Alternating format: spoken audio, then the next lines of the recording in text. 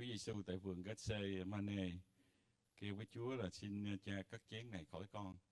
Tôi nghĩ sáng nay có nhiều người mà thức dậy thì cũng tưởng như là mình Gethsemane tới nơi. Tôi xin phép cầu nguyện trước khi chúng ta học lời Chúa chung với nhau. cái là Đức Chúa Trời là cha yêu dấu của chúng con. Chúa ơi, chúng con cảm tạ ơn Chúa vì chúng con được sự sống, chúng con được cơ hội đến nhà của Chúa, học hỏi lời Chúa chung với nhau. Chúa Thánh Linh ơi, nguyện xin Chúa Ngài à, phán dạy ở trên người giảng, ở trên người nghe, cho chúng con hết thảy nghe được tiếng của Chúa cho cá nhân của mình. Chúng con cảm tạ Chúa. Chúng con cầu nguyện trong danh Đức Chúa Giêsu Christ. Amen. Cảm ơn cô Cúc với uh, biệt thánh ca Gethsemane. Ở trong đó có cái phần nói rằng Gethsemane, Gethsemane, Gethsemane. Phải không? Uh, nhìn theo chân Chúa giữa lúc đêm sâu thiết tha kêu cầu. Chúng ta uh, hôm nay theo chân của Chúa đến vườn Gethsemane để chúng ta học được cái bài cầu nguyện của Chúa ở tại vườn Gethsemane này. Ở trong Kinh Thánh thật sự thì Chúa Giêsu có những bài cầu nguyện rất là quan trọng cho chúng ta. Chẳng hạn như trong Matthew đoạn 6 thì nói cho chúng ta biết rằng à, Chúa dạy chúng ta bài cầu nguyện mà chúng ta vừa mới đọc với nhau đó, phải không? Chúng ta gọi là bài cầu nguyện chung. À, những người anh em à, công giáo thì gọi đó là kinh Lạy cha.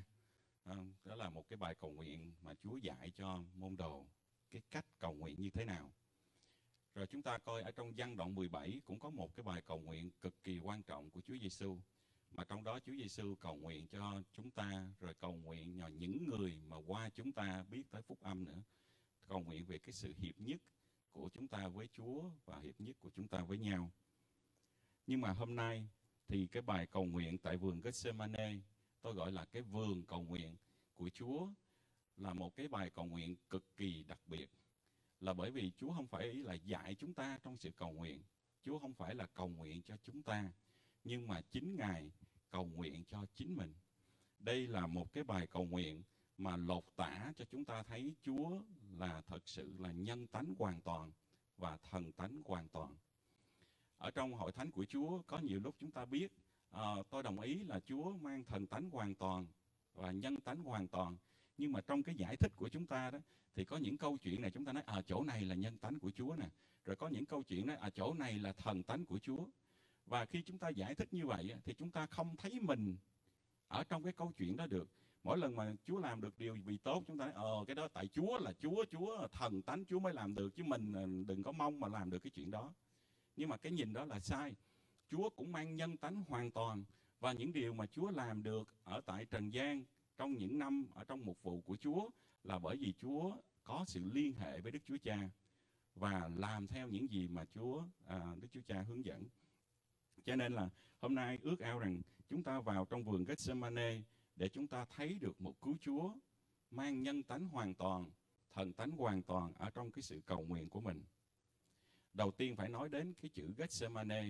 Cái chữ Gethsemane có nghĩa là ép dầu cái vườn Gethsemane được trồng à, được bao phủ bởi những cây ô liu và cái hình ảnh ở trong cái ý nghĩa của cái chữ ép dầu đó cũng nói lên được cái cái cái áp lực mà Chúa Giêsu bị chịu ở tại vườn Gethsemane phải đối diện với cái quyết định là làm theo ý cha hay là làm theo ý mình và cái áp lực đó lớn tới mức độ là trong Luca, bác sĩ Luca đã diễn tả rằng Chúa cầu nguyện mà mồ hôi ra như là giọt máu lớn.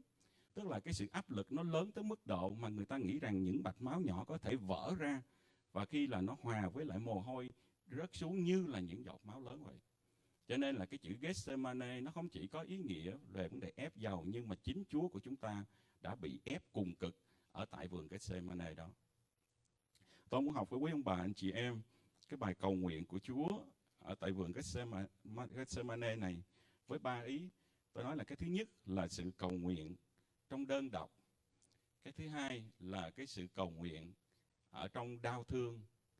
Và cái thứ ba là cái sự cầu nguyện ở trong sự đầu phục. Đơn độc, đau thương và đầu phục. Bây giờ đầu tiên là chúng ta nói về cái sự cô đơn của Chúa khi mà bước vào trong vườn Gethsemane để cầu nguyện. Chúng ta theo lời của Chúa sẽ thấy Đức Chúa Giêsu và các môn đệ đến một chỗ gọi là Gethsemane, Ngài bảo họ, các con hãy ngồi đây, đợi Thầy đến đằng kia cầu nguyện. Rồi Ngài dẫn theo Phêrô hai con trai của CBD. Ở trong sách mát thì ghi rõ là hai người đó là Giăng với lại Gia Cơ. Ngài tỏ ra buồn rầu và sầu não, rồi bảo họ, linh hồn Thầy đau buồn cho đến chết, hãy ở đây và tỉnh thức với Thầy. Rồi đi thêm vài bước, Ngài quỳ gối sắp mặt cầu nguyện lại cha nếu có thể được xin cho chén này lìa khỏi con. Bây giờ tôi muốn quý vị nhìn thấy cái hình ảnh để tôi muốn nói tại sao là Chúa cô đơn. Một vài ngày trước đó thôi, khi mà Chúa vào thành Jerusalem, thì bao nhiêu người đã tung hô Chúa, Hosanna, Hosanna. Cái số người theo Chúa rất là đông. Nhưng mà khi mà tới vườn Gethsemane này á, thì chỉ còn có 12 sứ đồ thì một đứa đã phản rồi. Khi đến vườn này thì chúng ta nhớ là Juda đã đi ra để đi báo, để đến, để bắt Chúa rồi. Cho nên vào trong vườn chỉ có 11 người thôi. Nhưng mà khi mà vào được trong tới 11 người thì đầu tiên thì Chúa kêu sao? Chúa tách ra ba người, Chúa nói đám còn lại ngồi đây. Rồi ba người mà gọi là sát nhất, thân cận nhất đi với Chúa thêm một khoảng nữa thì Chúa kêu là hãy ở đây rồi chính Chúa phải đi thêm một vài bước. Thực ra ở trong Matthew thì nói đi thêm một vài bước, ở trong Luca thì nó là đi thêm một khoảng cách ném một cục gạch. Tức là Chúa đi thêm một khoảng cách nữa và Chúa sắp mặt xuống để cầu nguyện. Chúng ta thấy ở trong cuộc sống của mình, chúng ta có những cái những cái nhóm người chung quanh chúng ta, chúng ta gọi là những cái circle chúng ta có những cái vòng lớn rồi sau đó vào tới những cái inner circle, những cái vòng nhỏ hơn xung quanh chúng ta. Ở trong cuộc sống ở đây chúng ta thấy rằng Chúa kêu họ hãy cầu nguyện với ta. Nhưng mà chúng ta thấy những cái người mà đám đông mà tung hô theo mùa, theo kỳ, theo theo vui á thì không còn để theo Chúa vào trong vườn Gethsemane được. Nhưng mà ngay cả những người sứ đồ đầu tiên đi theo Chúa thì cũng có những chặng mà Chúa biết rằng họ không còn có thể cảm được những gì Chúa phải đối diện. Họ không thể sẻ chia được và Chúa để cái nhóm đó ở lại. Rồi cuối cùng ba người thân cận mà chúng ta nhớ hai người con của CBD là hai người đã từng à, bà mẹ tới hỏi rằng nếu mà Chúa lên mà làm làm vua thì một đứa ngồi bên tả, đứa ngồi bên hữu nha. Tức là họ không có hiểu cái gì mà Chúa trải qua. Chúa hỏi là là liệu các ngươi có nhận được cái chén đó không? mà muốn vào cái vị trí đó chúng ta nhớ không rồi thêm một phi rơ không không có bao xa trước đó thì rất là hùng hồn nói rằng ai bỏ Chúa chứ tôi sẵn sàng theo Chúa nhưng mà tới lúc Chúa đi vào thì tới lúc ba người đó vẫn phải ở lại và Chúa vào một mình. Và khi mà Chúa vào một mình á, thì nói rằng Chúa sắp mặt xuống để cầu nguyện. Chỗ này Chúa kêu là các ngươi ngồi. Chỗ kia Chúa kêu là các ngươi ở đây. Nhưng mà riêng một mình ngài á thì ngài phải sập mặt xuống để kêu than với Chúa. Quý ông bà anh chị em đã từng rơi vào trong hoàn cảnh đó không? Rơi vào trong hoàn cảnh mà có những lúc chúng ta cảm thấy rằng có nhiều người tung hô mình ai cũng muốn nhận làm bạn là anh em của mình nhưng mà có những cái hành trình mình đi những người đó không còn cảm thông không còn hiểu được mình nữa và ngay cả những người mà chúng ta gọi là sống chết với mình cũng không hiểu những gì mà Chúa đặt ở trong đời sống của mình. Và rồi tới lúc chỉ có mình với Chúa, mình với Chúa và đổ lòng của mình ra với Chúa mà thôi. Và Chúa Giêsu biết rõ cái chương trình của Đức Chúa Cha cho mình là Chúa Giêsu phải chết để gánh tội lỗi cho nhân loại và Ngài đến cầu nguyện và cầu nguyện trong cái sự cô đơn đó. Ở đây chúng ta thấy cái sự cô đơn của Chúa không phải chỉ là cái sự cô đơn khi mà từng nhóm từng nhóm người phải rời bỏ mình nhưng mà chúng ta cũng nhớ đây là cái lúc mà Chúa bắt đầu phải nhận lấy cái chén và có nghĩa là Đức Chúa Cha không thể nào giữ cái mối liên hệ với Chúa Giêsu được bởi vì Đức Chúa Cha là đấng thánh khiết mà Chúa Giêsu phải nhận hết tội lỗi của nhân gian thì Đức Chúa Cha cũng phải ngoảnh mặt và cái sự cô đơn đó nó càng lớn hơn ở chỗ này á, thì Chúa Giêsu còn kêu cha còn cầu nguyện và và kêu kêu Đức Chúa Trời là cha được. Lại cha, lại cha. Nhưng mà Đức Chúa Trời không có trả lời. Ở chỗ này chúng ta thấy rằng cái sự cầu nguyện của Chúa, khi mà cái sự cô đơn đó nó không phải chỉ đến ở trong cái liên hệ về xã hội, nhưng mà sự cô đơn đó ở trong tâm linh của mình. Và có những lúc Chúa muốn chúng ta làm những điều mà chúng ta không muốn làm, nhưng mà Chúa muốn chúng ta phải đi theo và làm công việc của Chúa tôi cũng thấy ở đây nó giống như cái hình ảnh ở trong cựu ước quý vị nhớ rằng chúng ta đi vào đền thờ để thờ phượng thì phải đi vào đầu tiên là hành lang rồi tới nơi thánh rồi mới vào nơi chí thánh và chỉ có một người vào nơi chí thánh là người có thể nói chuyện được với Đức Chúa Trời. Phải ra khỏi hành lang, thậm chí ra khỏi nơi thánh để vào nơi chí thánh. Có những nỗi đau ở trong cuộc sống của chúng ta, có những cái gánh mà Chúa cho chúng ta đi qua. Chồng, vợ, con cái nhiều lúc cũng không hiểu được. Bạn bè thân nhiều lúc cũng không hiểu được. Những người chung quanh chúng ta họ có thể bỏ xa. Nhưng mà lúc đó là lúc chỉ có ta với Chúa và Chúa với ta. Cho nên là chúng ta đừng có đòi hỏi là người khác lúc nào cũng đứng với mình. Dĩ nhiên là chúng ta mong rằng có những người cùng cầu nguyện với mình. Nhưng mà có những lúc Chúa cố tình cắt hết tất cả những cái liên hệ chung quanh để rồi chỉ chúng ta với Chúa và Chúa với chúng ta để chúng ta có thể đổ lòng của mình ra, chúng ta có thể trải nghiệm được. Tôi cứ suy nghĩ tới cái hình ảnh mà Chúa Chúa ờ, sắp mặt xuống để cầu nguyện. Nếu như mà Chúa ở chung với 12 sứ đồ mà Chúa sắp mặt xuống cầu nguyện như vậy, họ không biết chuyện gì xảy ra. Họ không có cảm nhận được, họ không có không có nói kết được với cái lòng của Chúa. Có những lúc chúng ta đau khổ, có những lúc chúng ta khóc lóc, có nhiều lúc chúng ta kêu cầu Chúa người khác không hiểu. Người ta không không hiểu mình đang làm cái gì.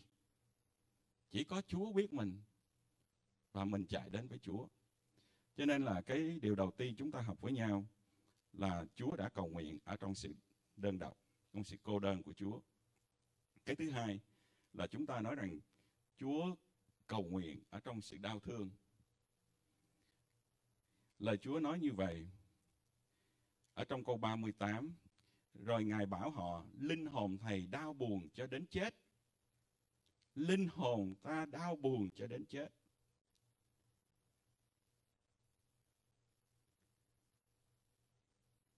Ở trong câu 41 thì nói rằng, thì câu 38 nói rằng linh hồn ta đau buồn cho đến chết. Rồi câu 39 thì nói rằng có thể được thì xin cất chén này khỏi con. Rồi chúng ta chúng ta thấy rằng Chúa ở trong cái cái cái bản văn tại vì cái câu chuyện này được viết ở trong ba sách là Matthew, Mark và Luca thì ông Luca đó ông là bác sĩ cho nên khi mà ông viết về câu chuyện cầu nguyện Chúa Giêsu trong vườn Gethsemane thì ông chi tiết về vấn đề y khoa hơn. Ông là người duy nhất mà viết rằng Chúa cầu nguyện mà mồ hôi ra như giọt máu lớn. Và ông cũng là người duy nhất để viết rằng thiên sứ của Chúa đã đến để thêm sức cho cho cho Chúa. Cho nên là chúng ta thấy từ cái câu 37, câu 38, câu 39 Chúa nói là nên cái cái sự mà đau đau đớn của Chúa. Rồi Chúa nói đến cái chén mà Chúa phải chịu. Rồi Luca thì đề cập là thiên sứ phải đến để thêm sức cho Chúa. Và mồ hôi của Chúa ra như là những giọt máu lớn. Thì chúng ta biết là cái sự đau đớn của Chúa đến mức nào.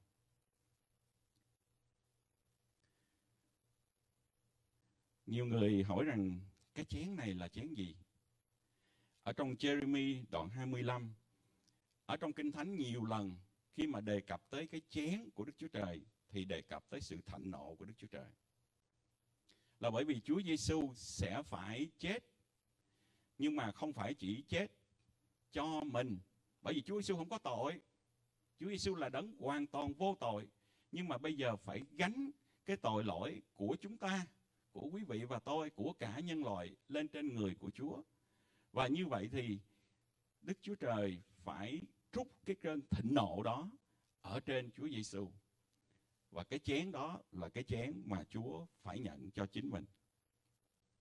Chúng ta thấy à, cái cái sự đau đớn của Chúa ở đây có thể nói là cái sự đau đớn ở trên thân xác, sự đau đớn ở trên tâm hồn và sự đau đớn ở trên tâm linh của Chúa. Xin ý cha được nên không phải là theo ý con. Không? Chúng ta ngày nay chúng ta à, cầu nguyện À, Chúa ơi, nếu mà con thức được thì Chúa cho con thức được thì con đi nhà thờ, con không thức được, con ở nhà. Nếu mà trời mưa thì con ở nhà, trời nắng thì con đi. Những cái cầu nguyện đó, nó không thể nào so sánh được với cái lời cầu nguyện của Chúa Giêsu trong vườn Gethsemane. Là bởi vì cái lời cầu nguyện của Chúa Giêsu vườn Gethsemane là chỗ sống chết. Cũng giống như là những người ở trong mùa Covid vừa rồi, có những người thân mà nằm hấp hối thì chúng ta mới hiểu rằng cái lời cầu nguyện của họ họ phải thiết tha, phải kêu cầu với Chúa như thế nào. Chúa ơi, nếu mà được thì cứu người thân của con, phải không? Có những cái quyết định rất là lớn, chẳng hạn như có những người biết rằng, bác sĩ cho biết rằng nếu mà con mình ra đời thì sẽ không bao lâu là sẽ chết. Mình kêu Chúa ở lúc đó nó sẽ khác. Cho nên cái chỗ này chúng ta thấy là Chúa kêu cầu với Đức Chúa Cha và xin cất cái chén đó khỏi đi khỏi Chúa Giêsu. Cũng có người giải thích rằng cái việc mà Chúa đau đớn nó có thể là bởi vì Chúa biết rằng Chúa phải chịu chết. Mà cái chết ở trên thập tự giá là một cái chết không có đơn giản. Tại vì cái người do cái người à, cái người La Mã họ chọn cái hình phạt thập tự giá là một cái chết kinh khủng nhất, là một cái chết ô nhục nhất, và một cái chết mà gọi là chết từ từ chứ không có để cho mình chết liền. Để cho cái nỗi đau của mình đó, nó phải lên tới cùng cực nhất. Để cho những người chung quanh thấy và sợ mà đừng có phạm lỗi nữa. Cái chết đó là cái chết mà chúng ta thấy là bị tra tấn bị sỉ nhục rồi là tay bị đóng đinh chân bị đóng đinh và bị treo lên. Ban ngày thì nóng ban đêm thì lạnh cắt da và mỗi lần mà muốn thở á, là phải kéo người lên thì mới có hơi để thở. Mà mỗi lần kéo như vậy á, thì những cái mũi đinh á, nó lại trì xuống những cái vết thương ở trên tay trên chân của mình. Cực kỳ đau khổ. Đó là cái nỗi đau mà Chúa biết rằng Chúa phải đối diện về cái nỗi đau thể chất đó. Nhưng mà rồi còn có cái nỗi đau nữa mà tôi nói là nỗi đau tâm linh là biết rằng Đức Chúa Cha sẽ ngoảnh mặt. Chúng ta nhớ trên thập tự giá. Chúa Giêsu bị mất cái quyền gọi cha. Chúa Giêsu nói là Đức Chúa Trời tôi ơi, Đức Chúa Trời tôi ơi, sao Ngài lìa bỏ tôi? À, cho nên là cái đó là một cái nỗi đau. Cho nên chúng ta thấy trong vườn Gethsemane này, Chúa cầu nguyện, cầu nguyện thiết tha, cầu nguyện thiết tha tới mức độ mà chịu những cái áp lực tới mức độ mà người ta nói rằng những cái mạch máu có thể vỡ ra hòa với lại mồ hôi quý ông bà anh chị em. Chúng ta cảm tạ ơn Chúa vì Chúa vào trong vườn Gethsemane cầu nguyện ở trong sự cô đơn. Cảm tạ ơn Chúa vì Chúa vào vườn Gethsemane cầu nguyện ở trong sự đau thương. Nhưng mà nếu như ngài cô đơn, nếu như ngài đau thương mà ngài không đạt được tới cái phần thứ ba mà chúng ta học với nhau, thì tất cả đều không có ý nghĩa. Đó là Chúa cầu nguyện ở trong sự đậu phục. Trong câu 39 hồi nãy thì nói rằng linh hồn. Câu 39 đi thêm vài bước, ngài quỳ gói sắp mặt cầu nguyện lại cha, nếu có thể được, xin cho chén này lìa khỏi con, nhưng không theo ý con, mà theo ý cha. Rồi chúng ta thấy trong câu 41 hãy tỉnh thức cầu nguyện để các con khỏi xa vào trước cám dỗ. Tâm linh thì mong muốn, nhưng thể xác lại yếu đuối. Câu 42 Đức Chúa Giêsu lại đi cầu nguyện lần thứ hai lại cha nếu chén này không thể tránh được và con phải uống thì xin ý cha được nên.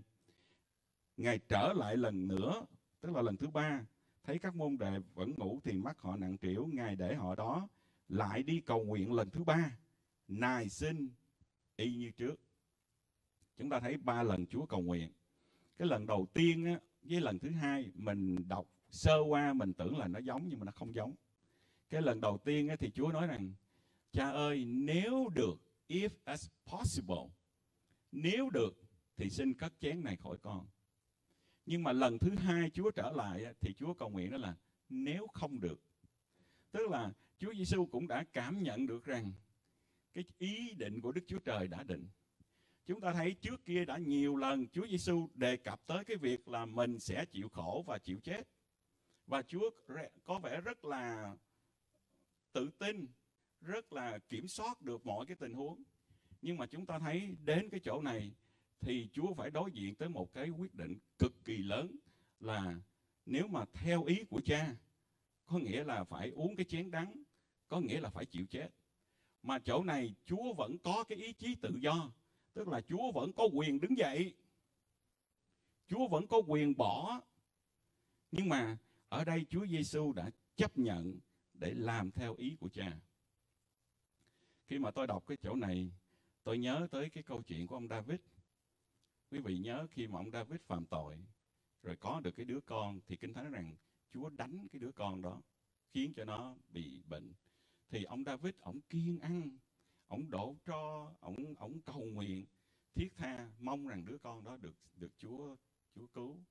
Nhưng mà cuối cùng thì đứa con đó chết thì ông lại vực dậy, ông lại đi thay đồ, ông rửa mặt, ông tươi tắn trở lại. Thì những người xung quanh mới hỏi là tại sao kỳ vậy?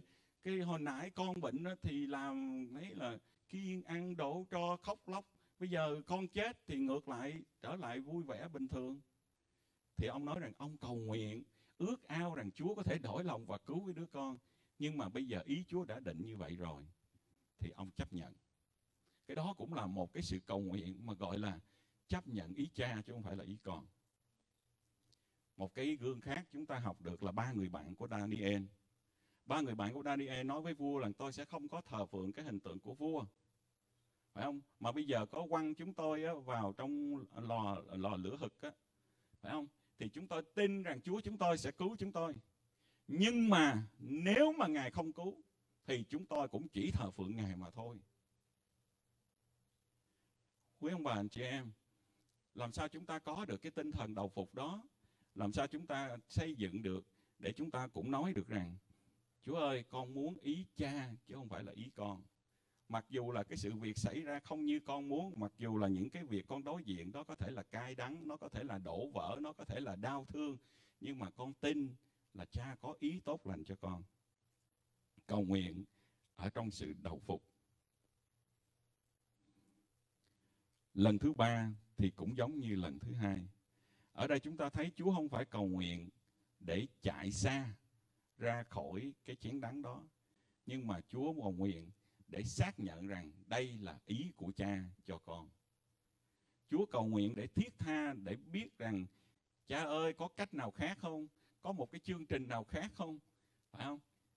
Và Chúa đã kêu cầu ở trong cái sự đầu phục là xin ý cha được nên chứ không phải là theo ý con. Cho nên quý ông bà anh chị em, chúng ta học được cái câu câu chuyện cái vườn cầu nguyện Gethsemane là nơi giàu bị ép, là nơi Chúa bị vỡ ra. Đây là một cái sự hy sinh rất lớn của Chúa. Có nhiều người nói rằng Chúa Giêsu chết trên thập tự giá, nhưng mà đối với tôi, Chúa Giêsu đã chết tại vườn Gethsemane. Và cái nỗi đau ở tại vườn Gethsemane nó lớn hơn cái nỗi đau ở trên thập tự giá. Tại vì cái nỗi đau trên thập tự giá là cái nỗi đau rất là đau đớn ở trên xác thịt. Nhưng mà cái cái nỗi đau của Chúa tại vườn Gethsemane nó là cái sự nỗi đau cái cái nỗi đau tột cùng, một cái sự tranh chiến giữa ý của con hay là ý của cha. Và biết được là con đường mình đi là khó khăn nhưng mà vẫn đầu phục Chúa. Cho nên cái chỗ này chúng ta mới thấy được rằng Chúa ở trong nhân tánh, sẵn sàng chết trong khi Ngài còn sống. Để ông Phaolô mới nói rằng tôi đã chịu đóng đinh trên thập tự giá với Đấng Christ, mà tôi sống không phải là tôi sống nữa, nhưng Đấng Christ sống trong tôi. Có nghĩa là chúng ta còn đang sống, nhưng mà tuyên bố rằng chúng ta đã chết. Ở đây, Chúa đã có cái quyết định là ý cha chứ không phải là ý con. Cho nên ngay chỗ này về tâm linh Chúa đã đầu phục hoàn toàn giết cái tôi của mình. Không phải là ý riêng của con bèn là ý của cha. Cho nên cái chỗ này làm cho chúng ta liên đới được. Cái bài học này nó làm cho chúng ta mới thấy được rằng chúng ta có một cứu Chúa là nhân tánh hoàn toàn. Và Ngài nối kết với Đức Chúa Cha, Ngài có thể vượt qua được, chấp nhận được chiến đắng, hoàn tất cái chương trình được đặt định thì chúng ta là con người, chúng ta theo Chúa, chúng ta cũng có thể làm được như là Chúa chúng ta đã làm. Ở đây tôi thấy có một vài cái bài học chính mà tôi nhận ra được. Cái thứ nhất mà chúng ta thấy đó là cầu nguyện không phải lúc nào cũng được trả lời như chúng ta muốn. Phải không? Chúng ta muốn Chúa ơi cho con cái anh này, Chúa ơi cho con cái chị kia, Chúa ơi cho con cái công việc này, cho con căn nhà này, cho con cái công chúng ta có bao nhiêu điều chúng ta cầu nguyện. Nhưng mà không phải lúc nào cái điều chúng ta cầu nguyện cũng xảy ra như là mình muốn. Chúa Giêsu cầu nguyện nhưng mà câu trả lời vẫn là không. Cho nên là chúng ta phải tin rằng Đức Chúa Trời có chương trình tốt lành nhất cho chúng ta và điều gì chúng ta chưa có thì chưa phải là tốt nhất cho chúng ta. Hãy bình tâm, hãy chờ đợi. Đừng có đi theo xác thịt, đừng có những cái cách của con người. Cho nên là khi chúng ta chưa được cái công việc tốt, chúng ta cầu nguyện và chờ đợi Chúa sẽ cho mình công việc tốt. Chúng ta chưa có được giấy tờ tốt, cầu nguyện chờ đợi Chúa cho giấy tờ tốt. Đừng để cái xác thịt nó lôi chúng ta để làm những điều mà không phải theo đường lối của Chúa và vinh danh Chúa. Mà phải chờ đợi, tin. Bởi vì Chúa có thể trả lời không thể như cái cách của chúng ta. Cái thứ hai là khi mà Chúa trải qua cái nỗi đau tột cùng như vậy thì là một cái sự khích lệ cho chúng ta để chúng ta biết rằng trong cái nỗi đau tột cùng của mình ngay cả những lúc người khác không hiểu được cái hoàn cảnh của mình thì mình vẫn có thể chạy đến với Chúa và Chúa hiểu những gì mình đi qua. Chúa hiểu cái mà gọi là bị người ta phản là như thế nào, bị người ta chối là như thế nào, bị sỉ nhục là như thế nào, bị lõ lồ là như thế nào, bị đau đớn là như thế nào, bị từ khước là như thế nào. Chúa đi qua tất cả những điều đó để chúng ta có thể chạy đến với Chúa và tìm được sự cảm thông. Chúa biết chúng ta và Chúa sẽ dẫn chúng ta qua được những cái con đường khó khăn đó. Nhưng mà cái điều thứ ba mà tôi học được là ý chúng ta có thể không thành, nhưng mà ý Chúa sẽ nên. Cho nên Chúa Giêsu còn rằng không phải là my will nhưng mà do will không phải là theo cách theo ý của con nhưng mà theo ý của cha. Cho nên là ý của Chúa thì bao giờ cũng thành. Cho nên Chúa dạy trong cái bài cầu nguyện chung mà chúng ta cầu nguyện cũng xin sao? Xin ý cha được nên chứ không phải là xin ý con được nên. Tôi cầu nguyện cho các con của tôi mỗi ngày ở ở trong gia đình cũng vậy, cầu nguyện cho cá nhân cũng vậy. Chúa ơi, xin chương trình của Chúa được thành trên các con. Ý chỉ của Chúa được thành trên các con. Chứ không phải là ý chỉ của cha mẹ, không phải là ý chỉ của các con mà xin Chúa cho chương trình của Chúa được thành trên các con. Cho nên là chúng ta còn hai tuần nữa là chúng ta sẽ mừng Chúa phục sinh. Nhưng một sư muốn dành những cái thời giờ này, thật ra những cái khoảng thời gian này ở trong lịch của của giáo hội, ở trong lịch của người theo niềm tin, họ gọi là mùa Lent, tức là mùa chay, là cái mùa mà chúng ta dành nhiều cái thì giờ, chúng ta suy niệm về cái sự hy sinh của Chúa. Là bởi vì chúng ta có cảm được cái sự hy sinh của Chúa, thì chúng ta mới có thể vui ở trong cái sự phục sinh của Chúa ở cho đời sống của chúng ta được. Cho nên là xin chúng ta nhớ Chúa Giêsu đã cầu nguyện một cách đơn độc để cho chúng ta học được cái bài học rằng có thể là cái lời cầu nguyện chúng ta Chúa sẽ có một cái cách trả lời tốt hơn, không phải là theo ý của mình.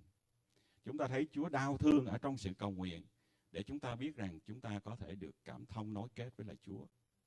Và Chúa đầu phục ở trong sự cầu nguyện để chúng ta có niềm tin rằng ý Chúa thì chắc chắn được thành. Và ý Chúa bao giờ cũng tốt hơn ý của chúng ta. Amen.